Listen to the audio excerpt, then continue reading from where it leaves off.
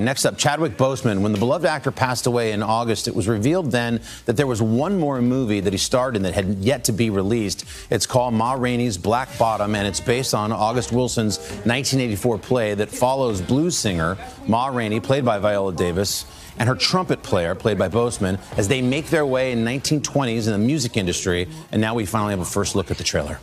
Every colored man in the world got to do his part. I'm gonna tell the white man just what he can do. They don't care nothing about me.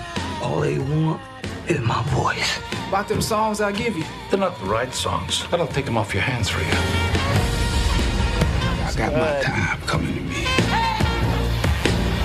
You don't know nothing about what kind of blood I got, what kind of heart I got beat here.